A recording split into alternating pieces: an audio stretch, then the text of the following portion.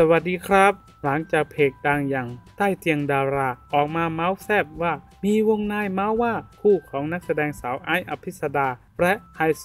นนเลิกกันแล้ว แถมตอนนี้ก็ไม่เห็นไอซ์ใส่แว่นที่นิ้วนางข้างซ้ายด้วย และล่าสุดชาวเน็ตก็เข้ามาเสริมทับว่าถ้าเข้าไปส่องในไอจีของฝ่ายชายจะเห็นเลยว่าน้องบรูสาวที่เคยมีข่าวกับสันต้นหอมไปกดไลค์และคอมเมนต์ให้ตลอด พอเข้าไปส่องก็เจอจริงๆ อย่างที่เขาว่ากันเลย และวันนี้ที่ไฮโซนนท์ได้ไปร่วมทำบุญใหญ่ที่จังหวัดอุบลราชธานี แต่ไร้เงาสาวไออยู่เคียงข้าง มีเพียงฝ่ายชายและเพื่อนคนสนิทเท่านั้น ซึ่งเรียกได้ว่าน้องบรูนั้นคอมเมนต์ให้กับไฮโซ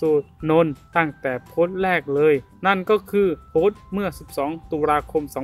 2562 โดยการคอมเมนต์ emoticon รูปหัวใจสีแดง และยังคอมเมนต์และกดไลค์ให้เกือบทุกโพสต์เลยด้วย ขนาดบางโพสต์ที่มีไอซ์มาเม้นต์ก็ยังกดไลค์ให้เลย